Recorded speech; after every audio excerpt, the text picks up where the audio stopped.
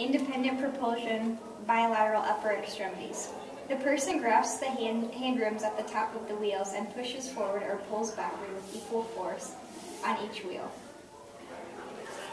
To turn, instruct the person to hold one hand rim and pull or push on the opposite hand rim. To turn more quickly, simultaneously push forward on one hand rim and pull back on the opposite.